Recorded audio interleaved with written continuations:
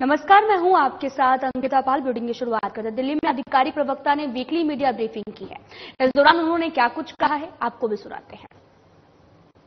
Institutional mechanisms we keep on talking to each other various matters and that is where it is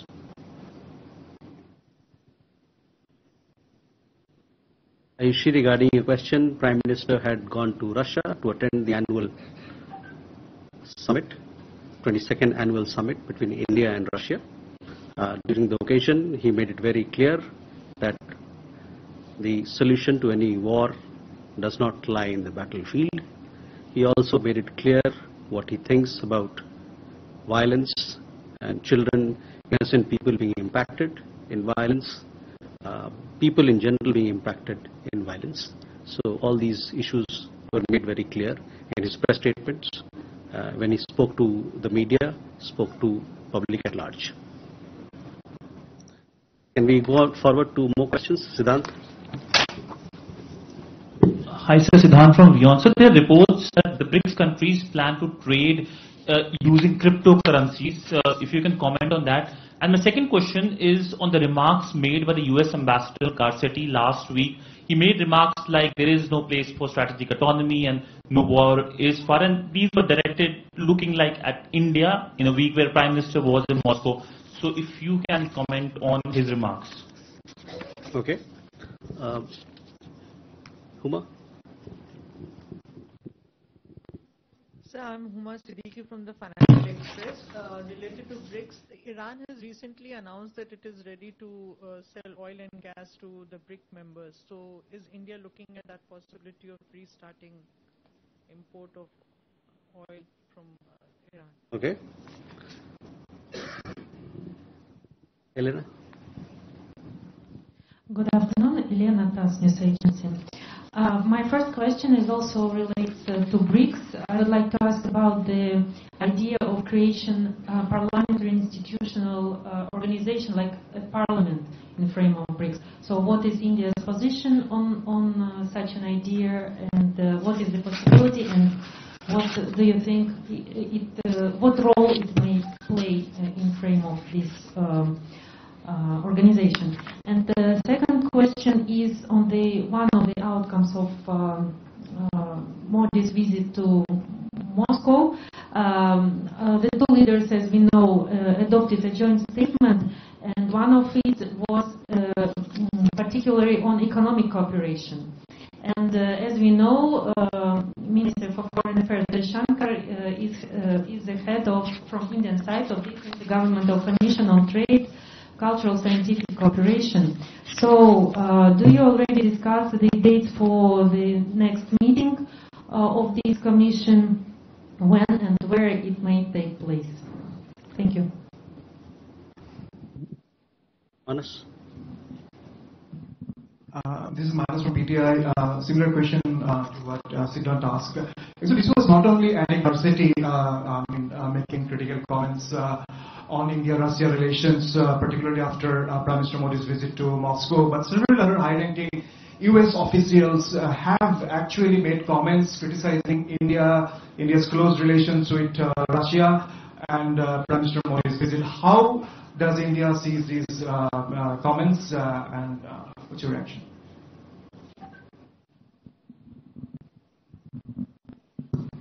Hi, sir. Chandrakala from Bharat.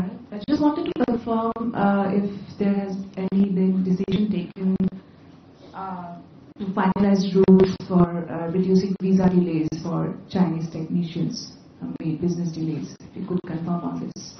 Thanks. Okay, let me answer these questions and I'll come back for more. Siddhant, your question regarding cryptocurrencies. There is no such proposal as of now in BRICS to settle trade in cryptocurrency. So that is a short answer to your question. Uh, the other question was regarding comments on strategic autonomy.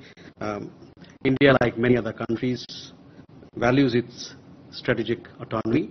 The US ambassador is entitled, obviously, to his opinion. Uh, we also have our own and different views. Uh, our comprehensive strategic global, global, global strategic partnership with the United States gives us the space to agree to disagree on certain issues while respecting each other's viewpoints. So that is my answer to you. Um, Huma, uh, regarding BRICS, uh, issues regarding uh, BRICS are discussed in that forum.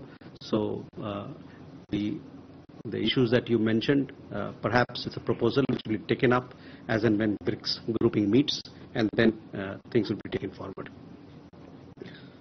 Elena, your question regarding uh, parliamentary institution. Uh, you know, in the month, uh, this month, we had BRICS Parliamentary Forum meeting in uh, Russia, uh, where uh, this particular issue idea was put forth. It's an idea which needs to be explored, and it will be explored by group, the BRICS membership. As of now, our focus should be to strengthen collaboration and cooperation within the existing mechanism of BRICS Parliamentary Forum that we have. On IR, India-Russia intergovernmental cooperation, um, we just had the annual summit. So uh, as part of the annual summit, a decision was taken, which is part of the joint st- statement as well, that the next round of India-Russia Intergovernmental Commission will be held. Uh, both sides will be working out mutually convenient dates, and we'll take this uh, bilateral collaboration platform forward with a robust agenda. Manas, your questions regarding uh, India-US relationship. You know, between India and the United States, it's a comprehensive strategic global partnership. We have a lot of issues to discuss, and both sides engage with each other uh, on several aspects of the relationship, and we discuss all issues that are of, of, of interest to both parties. As far as uh, you talking about, uh, you know, something that forms part of bilateral conversation, diplomatic conversations, those are things that, as a matter of practice, we don't, you know, speak about it, don't make it public. Uh, Chandrakala, you're regarding uh, a question regarding visa. See, uh, all visa matters are decided by a policy, policy that are well laid out.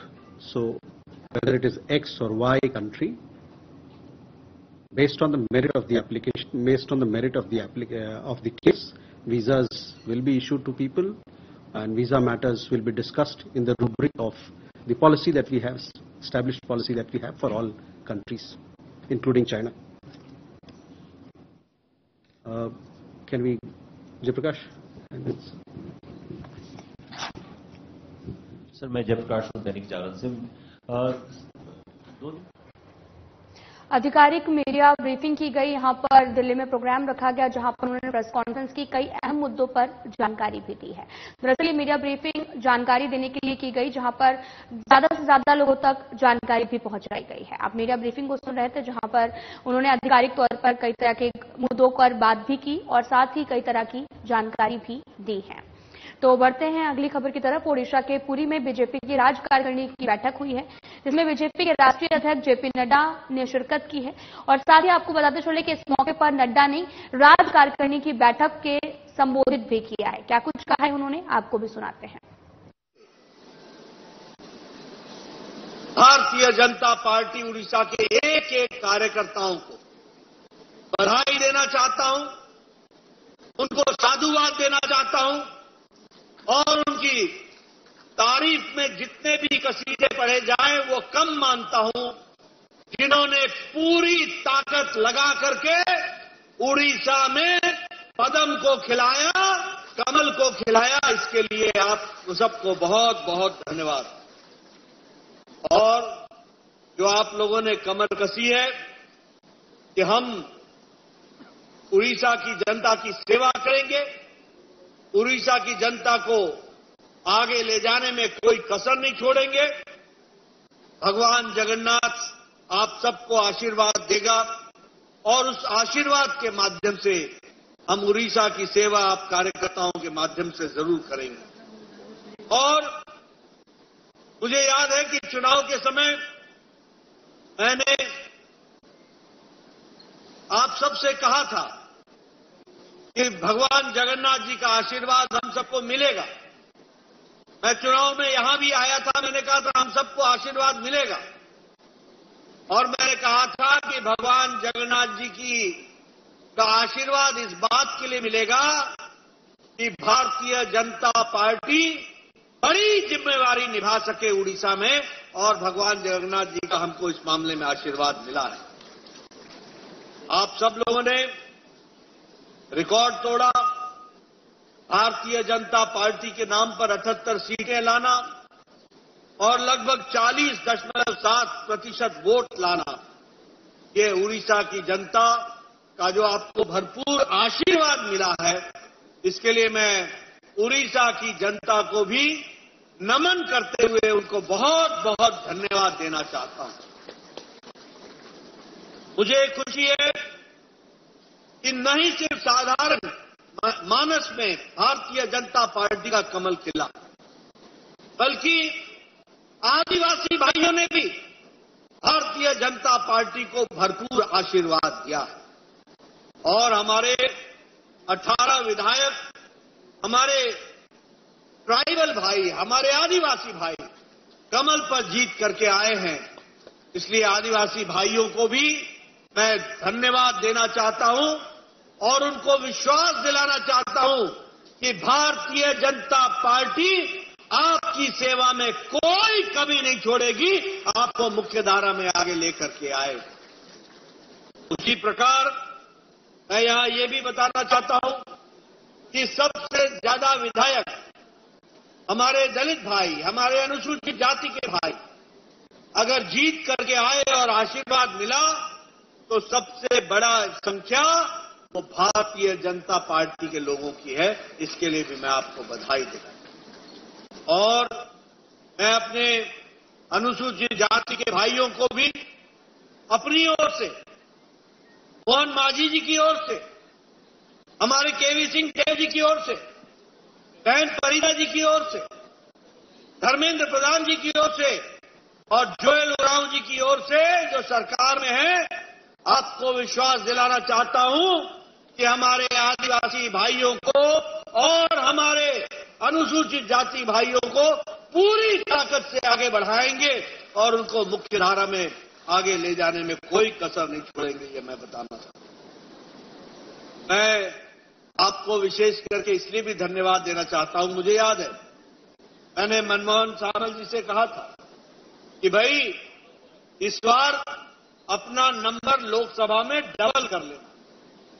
अगर double कर लोगे तो बहुत बड़ी बात हो जाएगी। और मैंने कहा था कि जो पुराने चुने हुए हैं, वो वापस जीत करके आए और डबल हो जाएगा तो बहुत अच्छा रहेगा। मुझे खुशी है कि आपने सिर्फ़ एक ही छोड़ा, बाकी 20-21 में से जीत करके आप आए और आपने केंद्र सरकार में योगदान किया। इसके लिए आपको विशेष करके मैं बधाई देना चाहता हूँ। और आप सब लोगों ने इस चुनाव में लगभग 45 प्रतिशत वोट भारतीय जनता पार्टी के पक्ष में दिए और प्रधानमंत्री मोदी जी 60 साल बाद कोई दोबारा प्रधानमंत्री जो तीसरी बार लगातार प्रधानमंत्री बने तो वो प्रधानमंत्री मोदी जी हैं, उसको भी हमको याद रखना चाहिए। और मैं ये भी कहूँगा कि जब जवाहरलाल नेहरू तीसरी बार बने थे तो आज़ादी की लड़ाई के बाद एक कांग्रेस का एक और था, एक उत्साह था, और उस उत्साह में वो जीते थे। और विपक्ष दल भी लगभग नगण्य थे। ऐसी परिस्थिति में वो तीसरी बार जीते। लेकिन 60 साल बाद पूरी ताकत के साथ और पूरी शक्ति के साथ अगर जीत हासिल हुई है तो प्रधानमंत्री मोदी जी को तीसरी बार प्रधानमंत्री बनने की जीत हासिल हुई है, इसको भी हमको ध्यान में रखना चाहिए। और इसके साथ साथ आपके ही नज़दीक में, आंध्र प्रदेश में, हम वहाँ पर भी सरकार बना पाए। हम उसके साथ साथ अरुणाचल प्रदेश में भी लगातार तीसरी बार सरकार पेमा खांडू जी के नेतृत्व में बन गई और सिक्किम में भी एनडीए की सरकार बनकर के आई, ये आप सब लोगों के ध्यान में रहना। मैं यहाँ ये भी कहना चाहता हूँ कि ये अकेली भारतीय जनता पार्टी है और आप सबको फक्र होना चाहिए कि अकेली भारतीय जनता पार्टी है जो सारे देश की पार्टी, पैन इंडिया पार्टी, हम उत्तर भारत में हैं, हम दक्षिण भारत में हैं, हम पश्चिम भारत में हैं हम पूर्व भारत में हैं, हम पूर्वोत्तर में हैं, हम मध्य भारत में हैं, कहीं कमल है तो सब जगह भारतीय जनता पार्टी है।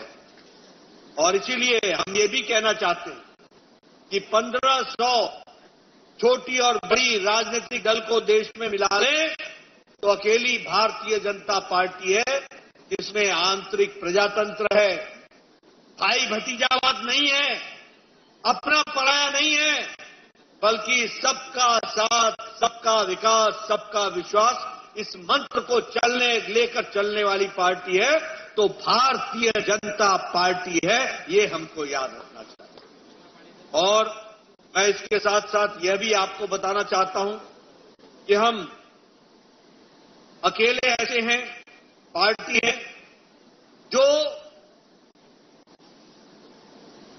अगर हम अपने व्याप को देखें तो हम कह सकते हैं कि 18 राज्यों में भारतीय जनता पार्टी और एनडीए की सरकार आज 18 राज्यों में है। और विशुद्ध भारतीय जनता पार्टी की सरकार 13 राज्यों में है, अकेली भारतीय जनता पार्टी।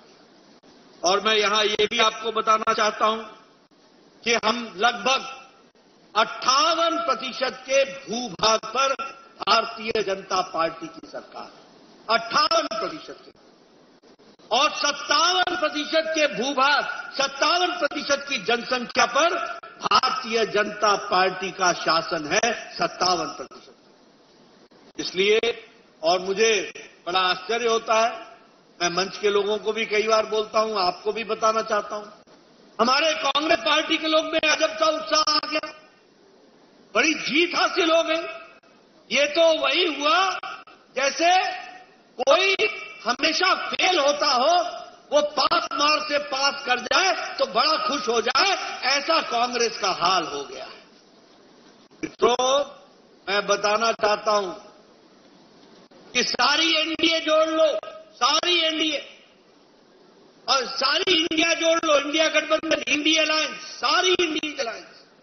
तब भी अकेले भारतीय जनता पार्टी के सांसदों से कम है कम पड़ते हैं ये भी हमको याद रखना और ये जो कांग्रेस पार्टी है ये 2014 के लोकसभा के सदस्यों को, को जोड़ ले। ये 2019 के लोकसभा के सदस्यों को जोड़ ले। और ये 2024 के भी लोकसभा सदस्यों को जोड़ ले। तीनों को जोड़ लेंगे तब भी भारतीय जनता पार्टी के एमएमपी से कम पड़ते हैं। ये इनका रिकॉर्ड है, ये भी हमको ध्यान में इसलिए ये जो पार्टियाँ हैं, इसमें मैं एक बात और बताना चाहूँगा कि तेरह राज्यों में कांग्रेस पार्टी ज़ीरो है, ज़ीरो, थर्टीन स्टेट्स।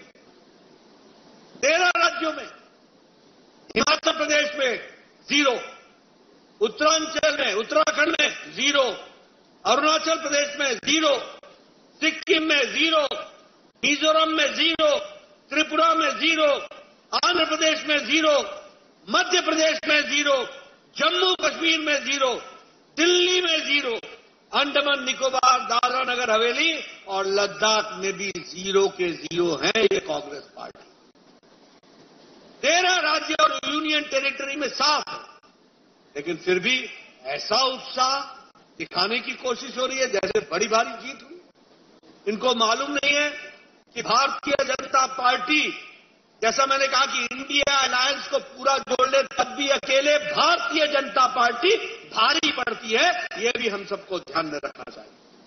और एक बात और कांग्रेस के बारे में मैं बोलना चाहता हूँ कि कांग्रेस पार्टी ये अमरलता की बेल की तरह है।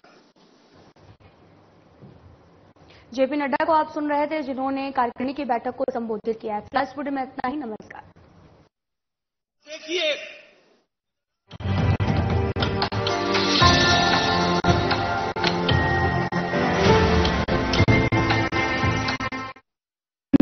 Hey mom! Hey, look! I can download a song really bar